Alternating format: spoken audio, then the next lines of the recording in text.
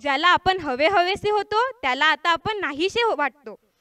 तो आता पूर्ण प्रयत्न करतो आपल्यापासून दूर जाण्याचा. पण का हा अनोळखी व्यक्ती असा वेगळा वागायला लागतो? त्याला खरंच आपली आपण कधी नको आपण आधीपासून नाहीशी असतो का? यात चूक मुळी त्याची नसते कारण त्याने आपलं प्रेम कधीच व्यक्त केलेलं नसतं. चूक तर आपलीच असते दोस्ता की आपण मन लावून बसलेलो असतो प्रेमात. तो व्यक्ती आयुष्यातून निघून जातो आणि आप आपल्याला कायम शिकवून जातो की बाबा रे कोणत्याच अनोळखी व्यक्तीशी कधीच मन लावून नको घेऊ. शेवटी तो व्यक्ती कायमच आपल्यासाठी एक गोड अनोळखी आठवण म्हणून मनात राहून जाते. मित्रांनो प्रे प्रेम व्यक्त करायला शिका हो. तुम्हाला प्रेम एक सुंदर कल्पना देऊन जाईल आयुष्य जगण्याची. थँक्यू